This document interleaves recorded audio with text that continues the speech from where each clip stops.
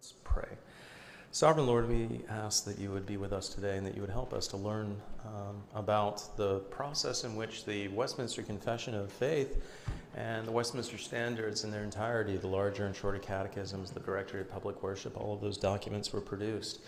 While we know they're not scripture, they are not uh, infallible, Lord. They are a good summary, nonetheless, of the doctrine we believe is taught within Scripture, and they are useful helps and guides as we study your word.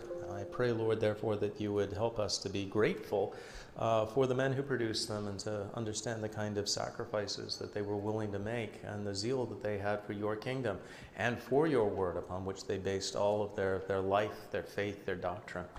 Uh, I do pray we would be men who were like the Westminster Divines and that we have such a high and exalted esteem for your word that we would want to make it the basis for everything that we do and everything that we say.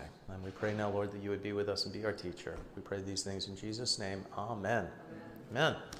All right. Well, uh, first up, we have two individuals, uh, both of them scoundrels in their own right. Uh, on the left, uh, who do you think that is on the left there?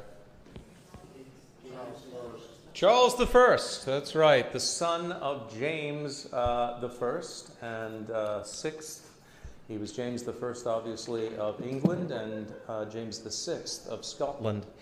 Uh, his son was also, uh, like his father, a man of very high uh, church views. He was an Anglo Catholic, and he leaned heavily towards Arminianism in terms of his theology. He also was very antinomian in his own personal practices. What do we mean by antinomian? What's antinomian mean? Antinomous? What, what did you say? Uh,